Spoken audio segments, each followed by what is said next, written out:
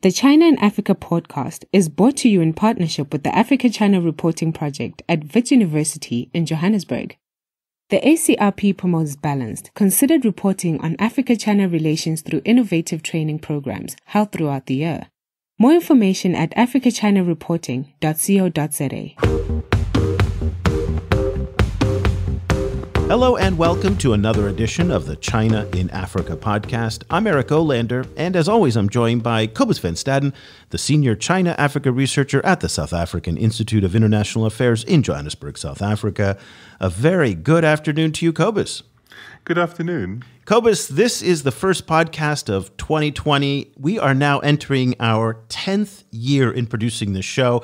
Uh, 440 some odd episodes later, uh, who knew that when we began this back in 2010, we would be here in 2020, uh, hundreds of episodes later, to continue the discussion about China Africa relations? It's crazy. It's a real testament to, to obsession and, and you know, mental troubledness. It re- it's funny because when we started this show all those years ago, you and I had a conversation. We said, well, how many topics can there actually be for us to cover? So let's just do this for five or six months see where it goes. And lo and behold, here we are 10 years later. What we do at the beginning of the year every year is we do a look forward to see what's coming up. And so this is our forecast episode, 2020 being the year. Uh, what we're going to do is we have three topics each. Uh, I don't know what Cobus's topics are. He doesn't know what my topics are. We're going to go right through them. And the idea here is to be able to provide you with an outlook of what are some of the key issues. Now, I have to put a disclaimer in here. This is a relationship that has grown so much more complex and is evolving so much faster than it was 10 years ago when we started this and when we started doing this type of show, the forecast show. Back then, it was pretty easy. China's going to loan money, China's going to take some resources, China's going to build from infrastructure that kind of was the theme for the first, I don't know, Cobus, what would you say, three, maybe four years up into the mid 2015, so, so about then. It's changed a lot today. We have a much more multifaceted relationship. So we're going to pick some themes, but they are by no means definitive uh, because there are so much going on. So forgive us if we are leaving out a lot of different topics that should be addressed. Cobus, let's get started with your first theme for 2020. What do you think is the top story or trend that people should watch in the year ahead? I think this is a complicated trend, um, pulling together a whole bunch of, of different issues at the same time. For me, that, that, that issue is sustainable energy and energy provision as a whole. So Africa is really desperate for dependable electricity. It's it's one of its most fundamental challenges in in kickstarting development, um, and it's also pushing a lot of money into electricity. Um, so I recently read a report by the Infrastructure Consortium for Africa, which showed that of the about hundred billion dollars that's committed to African infrastructure at the moment, forty three percent is going into electricity. Um, and you know, I was speaking to to analysts um, at Super Return, which was a big investor conference, which was which took place in Cape Town last year, and they were saying that they can't think of a, of a single African country that isn't running some kind of solar or wind project at the moment. That said, um, you know, kind of the, the, the Chinese obviously are leaders in, in sustainable energy, but they're also leaders in coal powered energy. Um, and at, the, at the moment, coal powered energy is being pushed out of China. And there's, I see on the one hand a kind of alignment between Chinese companies who have a lot of coal capability, who might be interested in building more coal stuff along the Belt and Road as long as the going is good, you know, before coal is shut down completely. And you see old leaders in Africa. Um, remember, Africa is the world's youngest population with the world's oldest leaders.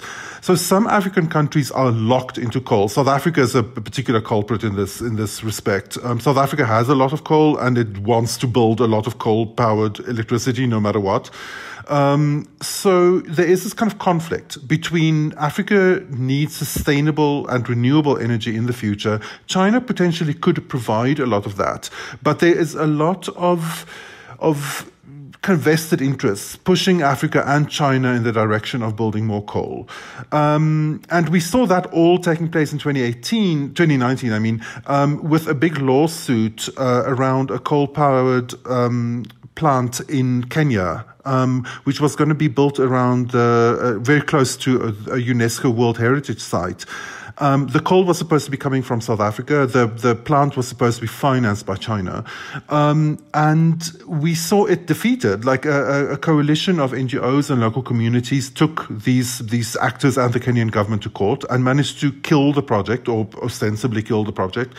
Um, so I think this all all of this together is a long-winded way of saying I think electricity is going to be one of the biggest issues, and the fight around what kind of electricity Africa is going to be locking itself itself into using Chinese money and contractors is going to be one of the big issues of 2020, I think.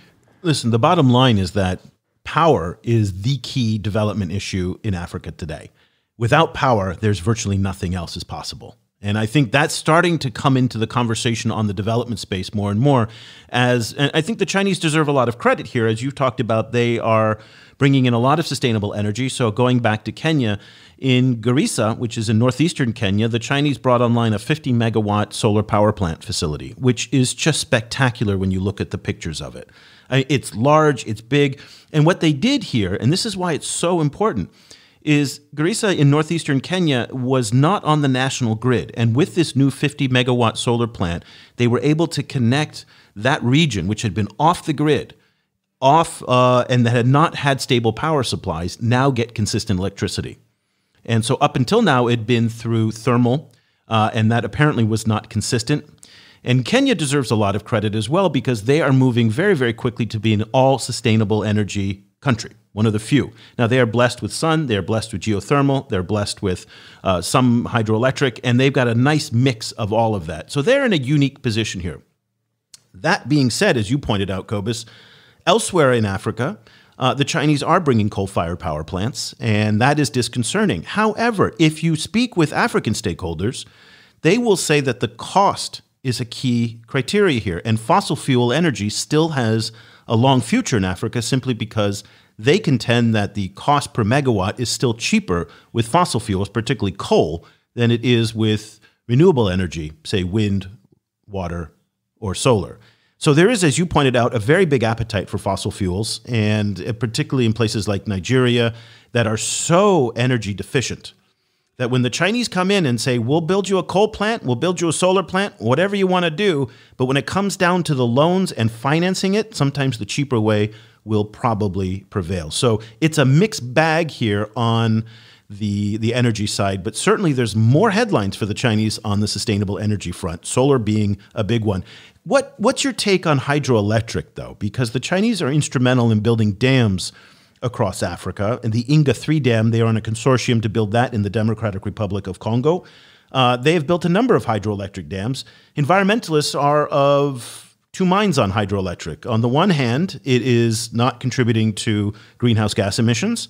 But on the other hand, there is terrible environmental destruction associated with uh, in, uh, with hydroelectric. What's your thought on that? Yes, hydroelectric is definitely an option in the fight against carbon pollution, but as you say, it's expensive and it has a lot of um, a lot of negative impacts environmentally. The other thing is it's also very dependent on constant, on sustainable water supplies. Um, and if you're in the, the Democratic Republic of Congo, that's not necessarily a problem, but in lots of other parts of Africa, it is a problem, especially in the face of climate change. You know, so, so as, as a climate sustainable solution, it might not be as, as strong as solar or wind. That's a good point that you bring up on water supply because in Zambia, Mozambique, uh, and certainly in South Africa, the droughts have been devastating this year and uh, so yes. far. And, and, you've seen a situation where, in some cases, the, the, the, levels of a river would sink, and then suddenly a city is out of power. That's exactly it. So, so that's a good cause, a good reason now is that it, to to maybe hesitate on hydroelectric in certain parts of Africa where water is an issue. Let's move on to our second or our first topic. Still, my number one trend for 2020 or 2020 is going to be the U.S. China Africa relationship. Uh, this is going to be an absolutely pivotal year. We saw last year in 2019, uh, the US China relationship really came to overwhelm many parts of the diplomatic relationship between Africa and the rest of the world. Africa was oftentimes collateral damage in between the two great powers that were in a ongoing, simmering, brewing. I don't know how you want to describe it. Is it a trade war? Is it a trade spat? But it is trade tensions, and it's a broader tension in the relationship. And this year, with the presidential election in the United States, is going to be pivotal. So even though the US and China today seem to have resolved at least parts of their trade dispute temporarily, we don't know if this is sustainable in the long term, but the phase one is technically done. That has eased things a little bit. Will it at the same time escalate again, depending on if President Trump is reelected for another term? I think Africa is really taking sides in many respects, even though it may not be in their best interest to do so. So, your president, Cyril Ramaphosa, in 2019, Cobus, made it very clear, I think, that uh, he is aligning his foreign policy much more with Russia and China. And it seems, at least the optics, maybe not the substance, but the optics seem to be that he is giving a cold shoulder to the US and to Europe, which is potentially very significant for South Africa, given that the balance of trade between the US and South Africa is much healthier than it is between China and South Africa, where there's a huge trade imbalance that exists. So we will see the US China relationship have an impact across Africa and how African countries position themselves in that, I think will be a key story for this year. What's your take on that? I, I completely agree with you. I think it's going to be a very big issue, um, and it, it has to do both with with escalating tensions um, between China and the US um, and pressure occasionally, for example, uh, during the Huawei um, campaign or the anti Huawei campaign from the US, pressure on African countries to, to choose sides. But I think the second impact is also just simply on the US being quite distracted um, um, and Africa falling very relatively low on its on its list of priorities. Um, you know, particularly now that that we've seen significant tensions between the U.S. and Iran, um, and the U.S. being being in full on election year mode. Um, so you know, on the one hand, there might be pressure on Africa to do you know to to choose sides. On the other hand, it might simply Africa might simply fall off the agenda, um, which then means that that uh, the U.S. embassies, U.S. diplomats on the continent are kind of stuck in a holding pattern, waiting for the election, while the Chinese are moving ahead. You know, very rapidly. So, so I think you know both of those are going to have an impact this year. And consider the fact that the United States now appears to be repositioning significant uh, military assets out of Africa. Uh, and in, ironically, in order to confront China and Russia elsewhere around the world, uh, but Howard French, the acclaimed author and uh, journalist, he wrote recently in World Politics Review how the United States has long had a Pentagon led or a military led foreign policy in Africa. And now, with that redeployment, it even pushes further down Africa in the priority scale in Washington. And that's a mistake, just as the, as the Chinese are now ramping up their engagement in Africa. So it comes in an interesting time when Prime Minister Wang, uh, Foreign Minister Wang Yi is going to make his first visit to of the year, which begins always in Africa. That's a tradition that the Chinese foreign minister takes. And at the same time, the news that of the U.S. disengaging, at least militarily in part, from Africa. So we start to again get back to these optics, but it does show in many respects how the United States is downplaying its overall engagement in Africa. And again, Cobus, do you expect to see much from the Prosper Africa initiative that was launched in Maputo last year. We haven't seen much come out of it. We're now seven, eight months into Prosper Africa timeframe. Uh, this would be the time when we see something. So if it's not the Pentagon that's going to lead American engagement in Africa, is it going to be the commerce? Is it going to be state? Is it going to be other part of the U.S. new International Development Finance Corporation? Where are we going to see American engagement in Africa? I mean, if, if it is on this kind of developmental side, then that would be good news, I think, for Africa. Um, you know, the, this is the kind of engagement that Africa is, is very hungry for, is, is, you know, is real economic engagement that can lead to development. it seems to me that at the moment, the the bandwidth doesn't seem to be there, you know, in, in, on the US side, in, in terms of um, in terms of just focusing resources and attention on, on dealing with this with the implement, implementation of of the the Prosper Africa plan. Um, so I would not be surprised if it kind of sits still for a while, um, you know, because the US is dealing with so many other things. What do you think? I don't see a coherent Africa policy, just like I don't see a coherent China policy. And I think this is one of the concerns in the East as well now with the Iran uh, standoff, that there are a lot of tactics, but not grand strategies. And that is, I think, the concern that a lot of observers of American foreign policy have about uh, the current administration. At the same time, we do see a much tighter vision of foreign policy built around Belt and Road, built around expanding trade from the Chinese. And let's not overstate the Chinese. Oftentimes, I think the Chinese get more credit than they deserve for strategy. And maybe the United States gets more you know, criticism for its lack of strategy. We're probably somewhere in the middle of those two, but I think those are the broad strokes of the narratives that at least there does seem to be a strategy built around Belt and Road for the Chinese in Africa Whereas the Americans right now, I think it's very, very disjointed.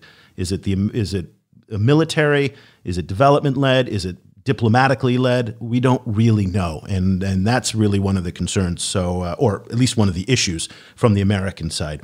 Let's go on to our second story of the year that you see kind of dominating the headlines. Go number two, Cobus. What's what's yours?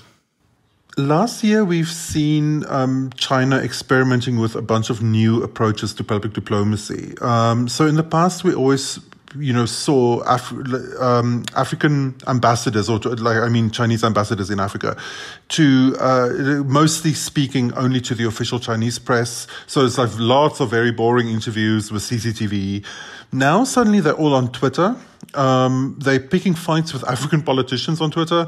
They are picking fights with the US on Twitter. Um, and so, so there seems to be a, a, real move towards new forms of public diplomacy. Um, at the same time, you see, as these very, very kind of critical broadsides against the U.S. policy on Hong Kong, for example, are suddenly appearing on um, on China's African embassy Twitter pages. I think it's difficult for the U.S. to decide how to respond to this kind of criticism. Um, diplomats that I've spoke with in, in South Africa have said that they they they are at the moment not actively not responding to it. They don't want to get into a Twitter spat with the Chinese, you know, ambassador. Um, but at some stage, they're going to have to do something um, because otherwise, the the Chinese are just going to completely own this this public diplomacy space. Um, at this at the same time, um, you also see. Uh, a move towards using Chinese private corporations um, as part of of public diplomacy initiatives. Um, so the company StarTimes, for example, which provides satellite TV, is involved in a project called the 10,000 Villages Project, uh, which is rolling out satellite TV provision at very low cost to very poor communities in East and West and now also Southern Africa. Um, so you see, it's it's a it's a private corporation. It's it's a profit making corporation, but at the same time, it's it's it's kind of dovetailed, folded into um, Chinese public diplomacy initiatives at the same time. So there's a lot of interesting developments on public diplomacy in Africa, and I think. A, what frequently happens is that Africa is a kind of a testing ground. So what works in Africa then is rolled out in other parts of the global south too. So this might be the, the early movement of, of, of a really of a sea change in the way that, that China deals with public diplomacy, um, and which might leave both Europe and the US needing to develop new initiatives. So if you have if you have the perception that there's more Chinese diplomatic activity on Twitter and you're not really sure about it, the numbers are there to confirm that. So the BBC put out a chart that said in 2017 there were seven official Twitter accounts from embassies or diplomats, just seven. 2018, it went to six, so we went down.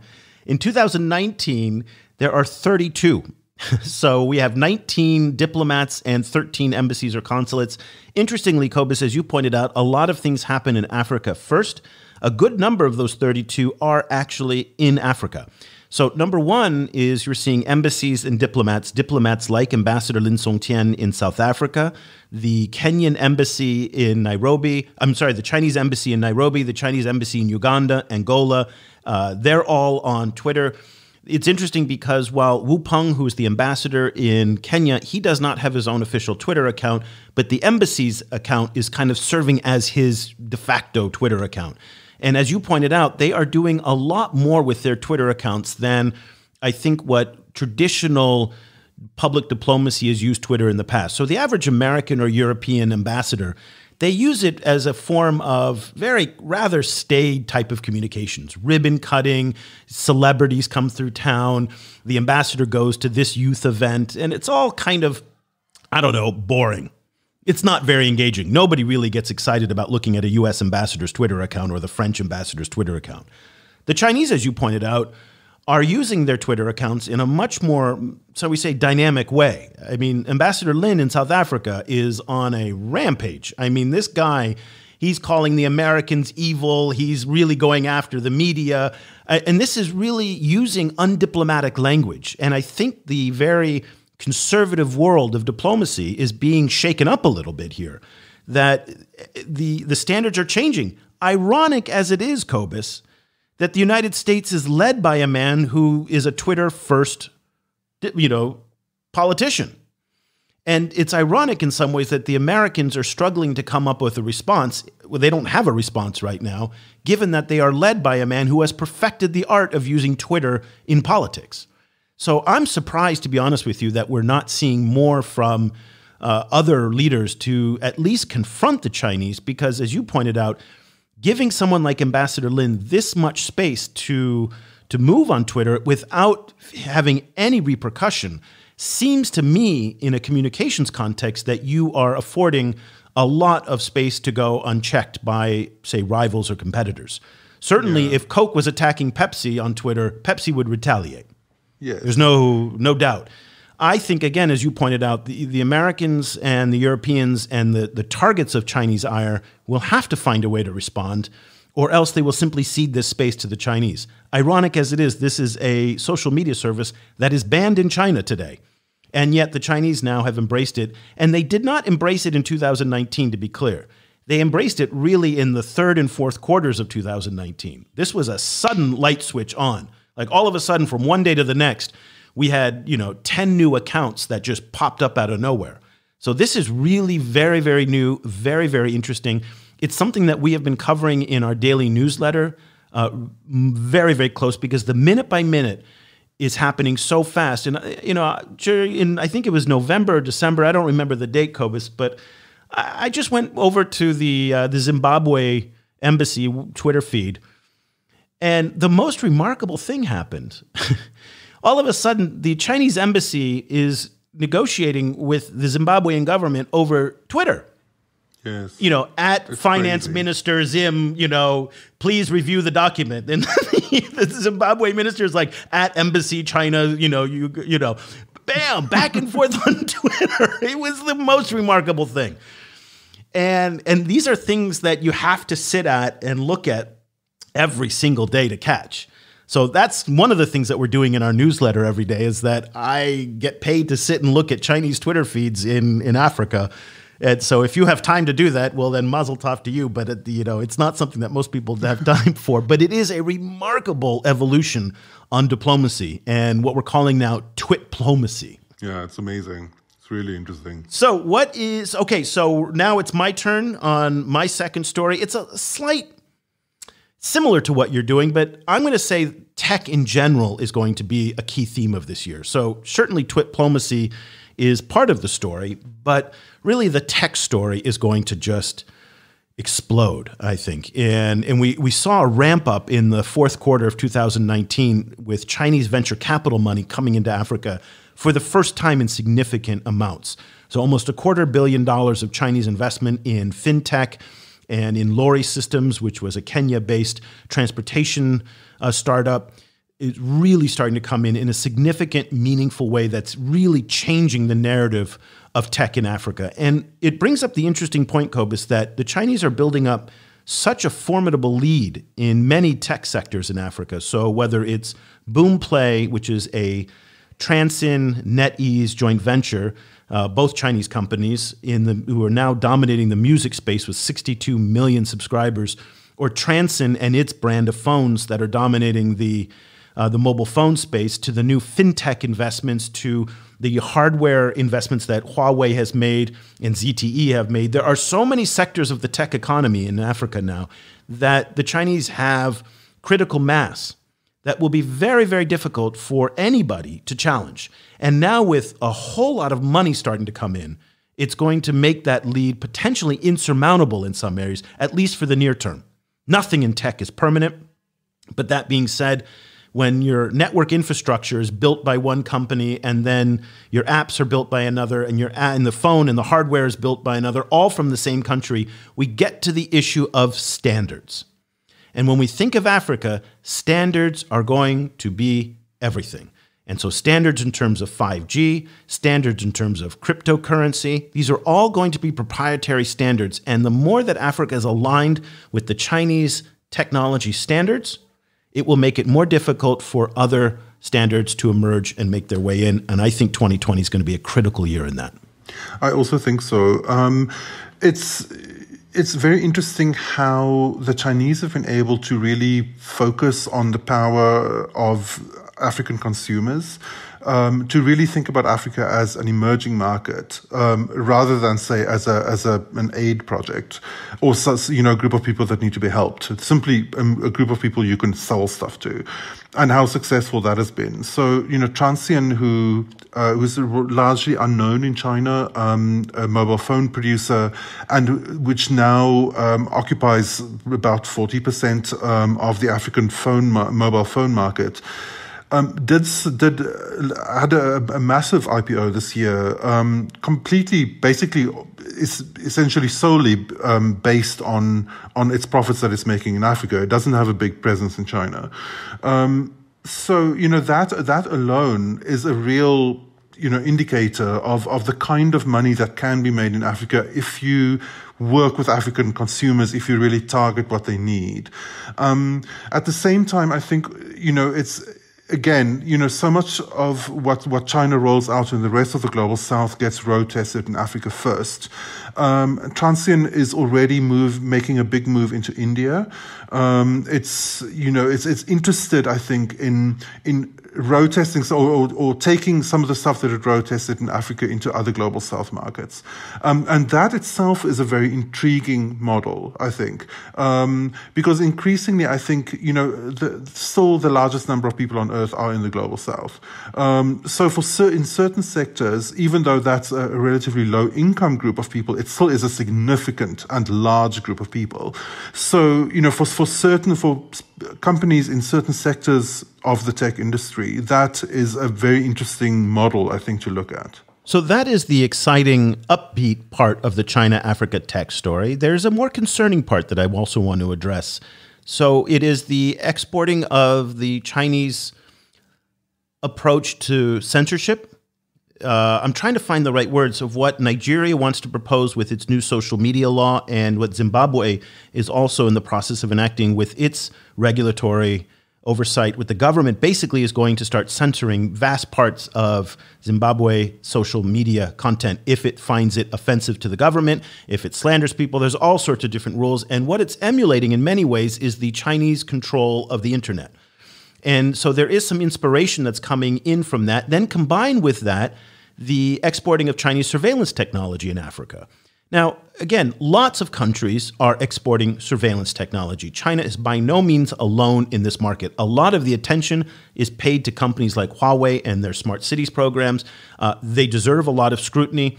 But at the end of the day, Americans, Israelis, Italians, a lot of European countries are also exporting surveillance technology. I contend that the burden should not necessarily be on the vendor and the, the vending country, but on the buyer. That we should be looking at African governments who are buying this technology and then deploying it against their own people in many respects.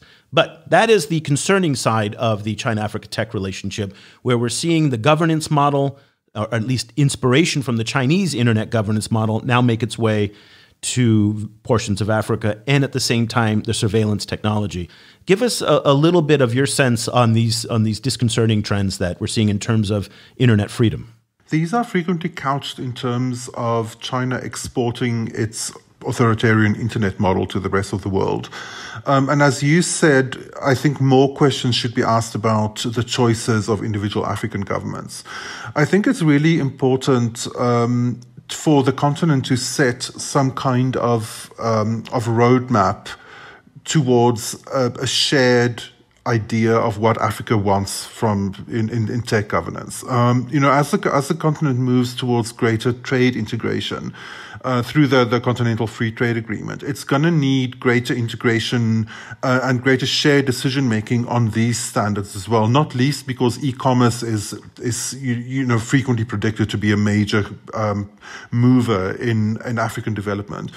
So that's going to be really important for the for the continent to really decide what it wants and how it wants to run things. The um, I think there's also another problem, and this is a this is a key problem, is that Africa is you know you know, I, I, say this so many times, but Africa is the world's youngest population with the world's oldest leaders. So there's a, a massive gap between um, between the population who I think is burning for more internet access and who is already now even even at great challenges and and you know at very low levels of, of skills and and and capacity and resources is already there's already a a kind of a nascent coding movement and a kind of like little micro Silicon Valleys popping up in different African cities. You know, you Africa is already a leader in in mobile financial technology, um, for example. So there's definitely a, a, a, strong move in that direction. Some, and that's something that that someone like Jack Ma from Alibaba has been picking up on. But at the same time, you have very old leaders who are mostly just worried about the internet boosting opposition politicians, um, and who are, who are trying to kind of crack down and trying to to control this rather than seeing it as as this kind of uh, you know massive de- developmental um, solution. So there are two. I think there's this. There are two um, philosophical approaches to the internet that are that are completely different in Africa, um, and for Africa's future, the young person's approach, you know, kind of should take precedence. Um, but the old people are in control, you know, so, so that I think is, is a, is a big problem. So decisions that either this year, next year, or the year after, but sometime in the next few years are that are going to have to be made, or else countries will start to lose their sovereignty in this space, will involve data privacy. And right now, we don't have any consistent data privacy rules in Africa things that are being discussed now in the state of California. This is in in the in Europe with GDPR and some of these other these other methods. There is no consistent data privacy. So what happens to all of African consumer data and all of that data that's being sucked up by the Huawei Smart Cities program, the surveillance data? We don't have any standards on that. Cryptocurrency. The Chinese are coming out with their cryptocurrency. They're going to want to deploy it in places like Africa, where oftentimes, as Cobus, you pointed out, things happen first before it goes to other countries. Look for companies like Transsion to bring cryptocurrency onto their platform. Now, remember, Transsion has 54, 55, 56% of the phone market, both smartphone and feature phone market in Africa. So it has walled gardens that it can now introduce technologies to with a built in audience already. That's what it's doing with music. So if you want to purchase music, maybe you buy credits on Transsion using the cryptocurrency. Again, the consumer may not know that they're using a cryptocurrency in the back end, but it's a Chinese cryptocurrency. What are the regulations for those cryptocurrencies? So, all of that data, cryptocurrencies, technology standards, these are decisions that are coming now. And if African countries fail to make decisions about where that information lives and what the standards are, uh, the big companies will do that for them and just take it. And again, that comes down to then an individual, individual country's sovereignty being eroded. Um, so there's good and bad on the tech, just like there's good and bad on the energy side. Again, this kind of reflects in some ways the China Africa story writ large. There is no good, there is no bad. It's really a mixed, a tossed salad of both. And you, depending on how you look at it, you can spin a narrative either way. Cobus, let's now go to our third and final round of trend stories. top stories, however you want to frame it for 2020. What's your third story for the year? The big trend for 2020 was also the big trend in 2019, which is debt. Um, it's debt is a big issue. It's always it's always part of a, the China-Africa relationship because China funds so much infrastructure in Africa. Um, uh, but the changes come over the last two years or so as Western countries have started becoming a lot more critical about the impact of Chinese debt. Um, and you know, there, there are some reasons for concern. Um, African debt has increased sharply over the last while, um, and a big proportion of that debt is Chinese. Um, but generally, kind of a, a, lot of Western commentators have largely ignored the complexities of, of the of Africa's debt mix in favor of what, what we've started to call the debt trap narrative, which is this idea that China is is indebting poor countries on purpose in order to gain leverage and, and to, to do things like seize state assets. A lot of people have pushed back on this, particularly a lot of scholars have pushed back on this. Um, but we've we're still seeing it in 2019. We still saw it coming, you know, being being mentioned by State Department officials. Um, I think it's it's a very uh, misleading way of putting it because one of Africa's problems is that it has very that it has a lot of debt from a lot of different debtors, not just from China. If Chinese debt were the only problem, that would be a, a problem you could deal with. The, the, the, problem is that, that Africa has a lot of Eurobond debt, has a lot of debt from African lenders. Um, so, you know, the, the, the debt mix is complicated and it's growing very rapidly, and that is a concern. But however, the other concern is that Africa, um, finds it very difficult to to fund all of this infrastructure that it that it has to fund. And if it doesn't fund infrastructure, that is its own problem. You know, kind of um, a lack of infrastructure, especially with as young a population as Africa, um, means that it would be impossible to to develop the countries in time for these for, for, by the time that these people need to enter the job market and if if those people don't have jobs by the time they need to have jobs that puts the entire country on a road to chaos and you know and instability. So there are very very large issues at play. Um, Africa needs debt. It, it, needs to it needs to lend um, in order to build these these infrastructures. All of this infrastructure they need to build. Um, and China is going to be a massive um, lender into the future, even as China itself is starting to become more wary of its exposure to African debt. Um, so, what we've seen in the last while is African leaders becoming a lot more. Um, a lot more assertive in pushing back against against you know, kind of suggested limits coming from, from the International Monetary Fund, for example. Um, and we've also seen the development of new kinds of deals and uh, versions of, of uh, public-private partnerships um, in between uh, African governments and Chinese companies that are attempting to kind of spread the risk around a little bit, that it doesn't all land on the African government. So I think debt is an old issue, but it's a new issue as well. It's it's renewing itself as we speak, and I think it's going to really be a, a, a dominant issue in the coming year. No doubt. And it's debt and deficit. So you raised this issue with the IMF, and a group of West African leaders at the end of 2019 uh, really pushed back on the IMF on the 3% deficit limits that they have, and saying that they need to carry more debt and run budget deficits in order to fund the infrastructure. And again, we heard from African leaders the demographic pressure that they're under, that if they don't build this infrastructure now, not five, six, seven years from now, now, that they are not going to have the infrastructure, the roads, the bridges, the all of the equipment in place in order to build economies on that are going to employ the 15, 16, 17 year olds of today in the next five to 10 years. And if you don't have that infrastructure, given what we know about the demographic trend lines, it is a recipe for unrest and social instability. Exactly. It's it's the difference between between being India and being Pakistan, right? Kind of it's the the difference between being this kind of global south developmental lodestar, um, you know, getting rich very quickly, the way that India is, or this this country like Pakistan is where a large part of the population feels very stymied, and in the process, you then you get a lot of instability, a lot of very unhappy people, the, the development of, of armed movements and so on and so on. Huh, I thought you were going to say the difference between India and China here, because when you look at India's infrastructure compared to China's infrastructure, both a country of a billion people, both in the global south, I mean, India's infrastructure is, you know, nowhere close. China itself has invested in infrastructure in a way that has facilitated its industrial growth. It wants to bring that model to parts of Africa as well. Your point on the new financing model so look for the Chinese to be much more discriminating in what they finance so the days of just the easy money coming through the China Exim Bank, I think, are over. So the Chinese have rejected Kenya's phase three of the SGR. They've rejected the Ugandan SGR. These are the railways. Uh, they're becoming much more disciplined about demanding feasible projects from African stakeholders. So that is going to be something very, very interesting to look ahead. And and, and Uganda was very key in all of this because they basically said, okay, we're not getting our money for our standard gauge railway from China. We're going to go look elsewhere.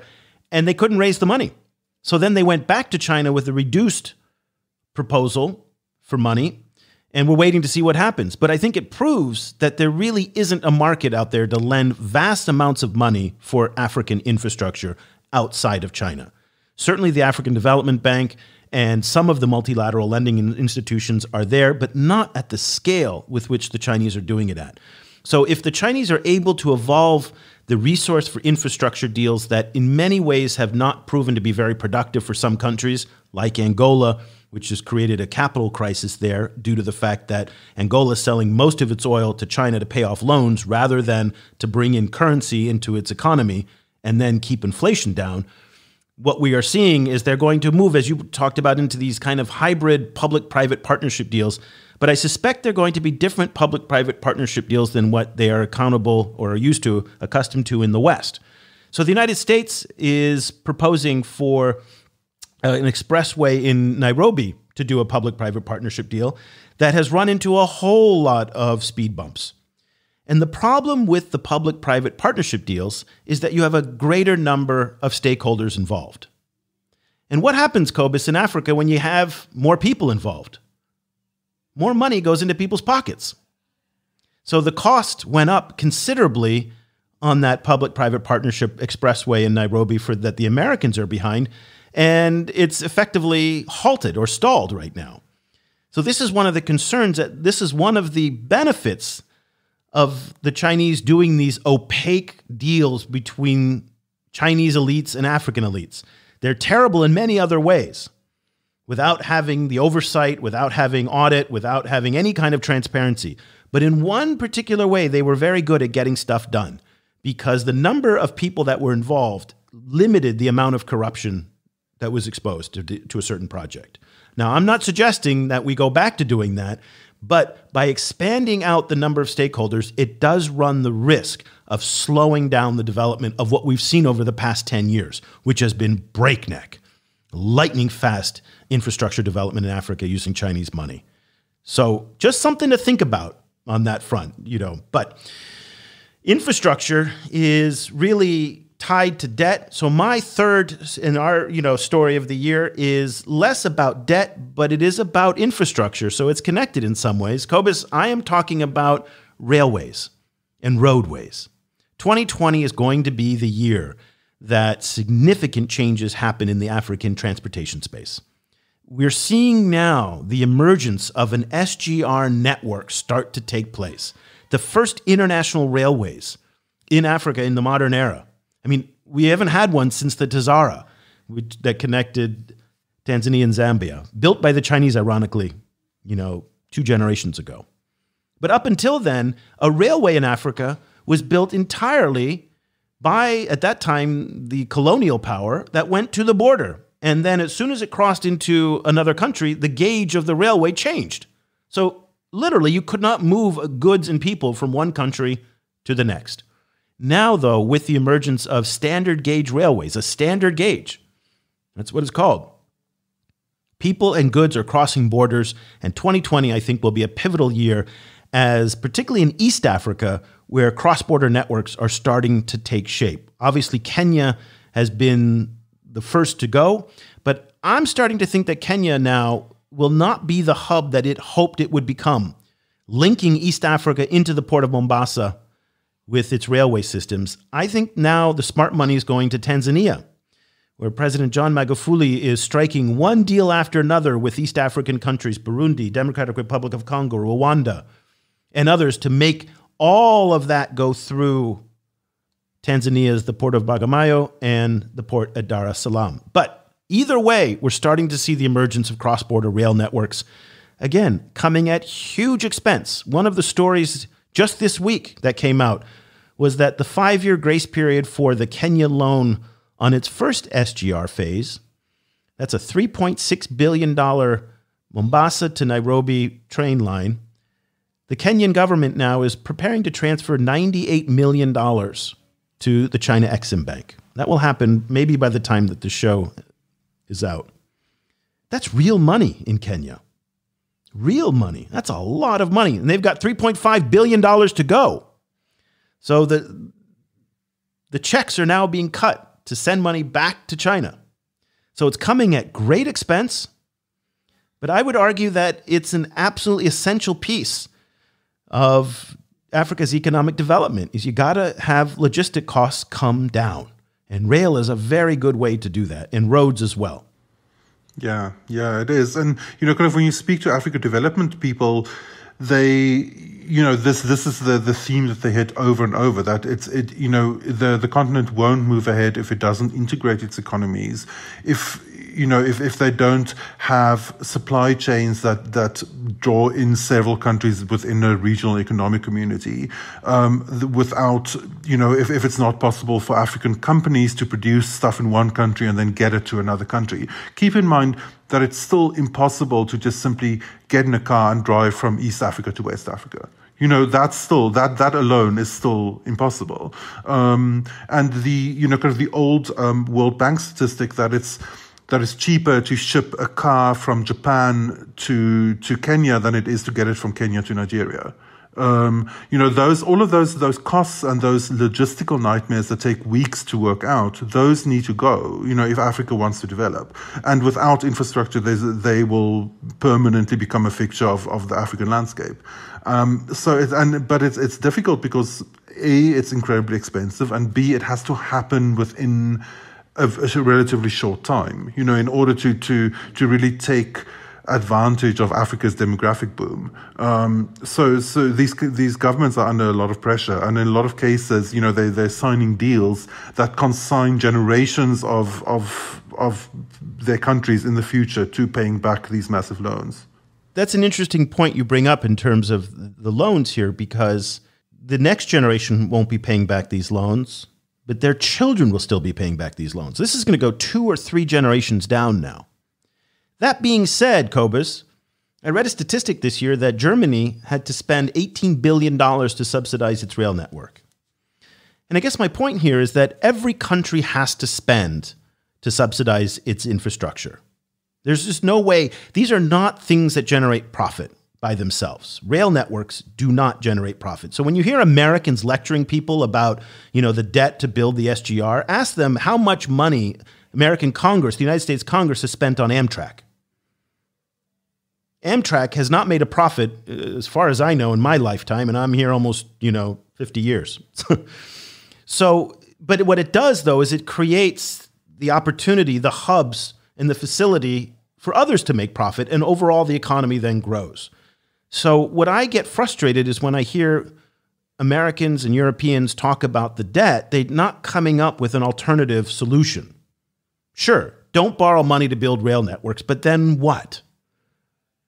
I mean, you have the Continental Free Trade Agreement now that's going into force, but if you can't move a good between a border, what's the point of having a free trade agreement? Right?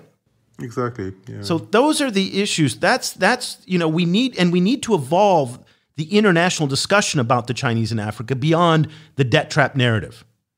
It needs to come with okay, if you're not going to take Chinese money, then who's going to provide the money to build this infrastructure? Let's get down to brass tacks. And I hope that Africans will start to push back on US and European critics on this front to say, we get it. The Chinese may not be the best people to borrow money from for all sorts of reasons. But until you provide me with an alternative, I got nowhere else to go. And interestingly, Cobus, one of the things we heard in a lot of our interviews last year in 2019 was speed. Ghana was the best example of that. 18 months from the time that they started the conversations between Sinohydro and the Ghanaian government over the bauxite deal. 18 months was the amount of time it took between the deal start and shovels in the ground to build that infrastructure. We heard it in Wu Peng's interview with Dickens Olewe Uh, from the BBC, where he said, Young Africans want action. And I think that's absolutely true. Teenagers, by definition, are not the most patient people in the world. and what? Africa is a continent of teenagers. In Nigeria, what the median age is 15?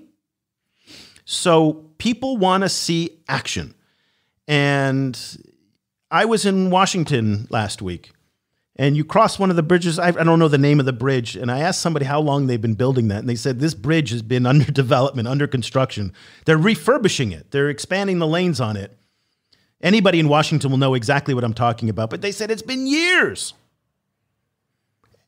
You know, that's the way we do things in the US. It, we don't build infrastructure fast because we have to do environmental impact reports, community assessments, we have to do sustainability reports. There has to be all these different kind of boxes that are checked. And African leaders will tell you, I ain't got time for that. There is just no time for that. So people will say, you know, were shortcuts taken in the bauxite deal in Ghana? Probably. But there are shovels in the ground now and roads are being built and things are happening. And that's what people want to see. So the debt the infrastructure, the impatience of teenagers, all of this gets wrapped together. Final thoughts to you, Cobus. You know, the the thing is that that the continent itself, I think, at the moment is going through a, a lot of these changes, and a, these these kind of priorities are becoming stated more explicitly. Um, and on the commercial side, you're seeing the rapid rapid development of of, of companies, startups, and so on in Africa trying to do exactly this, trying to move forward in a very innovative, innovative, innovative way, um, and very quickly. Um, I think the the the problem is is all of the the kind of um, friction that's built into the African system because of the role of officials, because of the role of corruption, um, and you know so there's certain kind of inertia that's built into the system that that the population of the country or, or the, of the continent is trying to fight against, and so it's it's very easy for external um, actors or external partners to to also be become stuck in this kind of inertia. And it's really important for them to connect with the right Africans, the right actors in Africa. Um, in you know in order to to to really to to fulfill this need to move ahead more quickly and more efficiently. Um, so I think there's a lot of opportunities. I think this this is one thing that I think 2019 has shown is that there's it is possible to make money in Africa, um, and it is possible to make money in Africa outside of simply you know kind of taking raw minerals and selling it the, on the international market. Um, it is possible to make money in Africa out of tech by engaging with African consumers, you know, in all of these different ways. There's a, there's a million different opportunities. It's just, it's, it's, it's a last mile problem frequently. It's, you know, it's, it's trying to make those final connections, trying to get the way of doing it that, that makes sense in the environment and that is actually payable. Um, and I think so far the Chinese have been very effective at taking advantage of some of these opportunities. I think in cases where a lot of Western actors didn't even see opportunities. Um, and I think it is gonna, it's the, you know, what, what I, when I'm optimistic, I hope that there will be a wider range of people, both Chinese and non-Chinese, Western and non-Western partners kind of stepping up and, and seeing these opportunities and actually taking advantage of them. Um, at the moment, I'm not really seeing it in the on you know in places like Silicon Valley. Um, you know, I think I think there's still a very low interest, very low awareness of of of the the very rapid developments that are happening in Africa. And and I hope that the, the 2020s will be a moment when more people start waking up to what the potential is. Well, we are going to be there to cover it all. We are expanding what we're doing.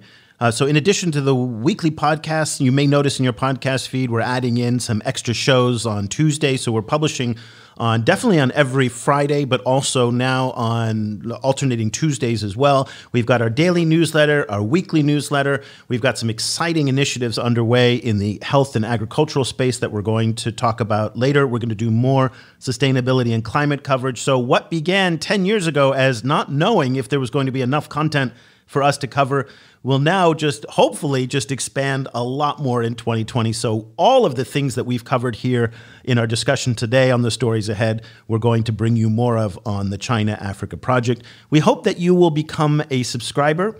And in becoming a subscriber, you're doing two things that are very, very important. Number one, you're supporting independent journalism. Uh, we are effectively the only resource right now in the world that covers China Africa relations dedicated daily, and that's all we do. So if you rely on mainstream media, say the New York Times, The Guardian, AP, Reuters, any of those sources, or Business Daily, any of the South African media outlets, or places like in Kenya and Nigeria, Premium, Premium Times, etc., uh, you'll get some China Africa coverage. There's no doubt. They'll give you the big picture of things, but they're not going to give you the day to day. We give you the day to day, and we do it independent. We're not supported by any country, country, culture, or company. Uh, so we depend on your support through subscription. So we hope that you'll check us out at ChinaAfricaProject.com slash subscribe. And then we're also going to make sure that we elevate the discourse and we try to bring in all voices. And that's really something very, very important that we're not simply relying on Westerners, we're not relying on traditional China Africa voices, but also, as Cobus has been mentioning over and over and over again, Africa is a continent of young people. We're bringing in African youth and also to bring in Chinese youth as well into this discussion, who often get overshadowed by state media and the older voices, if you will. So we have this great dynamic conversation going on. Check us out at ChinaAfricaProject.com. Of course, Cobus and I are always available to you, our listeners. If you like to reach us, just email us, eric at ChinaAfricaProject.com. And I have finally fixed Cobus's email. Cobus at ChinaAfricaProject.com now works. So if you'd like to comment, question, give Cobus any kind of feedback, criticize, we do like that too. Uh, keep it clean. That's all we ask. Uh, then uh, please email us directly. So we'll be back with a whole year ahead now of shows coming up in 2020. We want to thank you all for your support over the years, over these past 10 years, in fact. Many of you have been loyal listeners from the very beginning. And for those of you who are new to the program, we're hopefully going to keep you for another 10 years to keep listening to us. So until next week, thank you so much for listening. For Cobus Van Staden, I'm Eric Olander. We'll be back again next week with another edition of the China in Africa podcast. The discussion continues online. Head over to facebook.com slash China Africa Project to share your thoughts on today's show. The guys are also on Twitter, where you can find Cobus at Stadenesque or Eric at E. Olander. And be sure to sign up for the weekly China and Africa email newsletter by going to www.chinaafricaproject.com.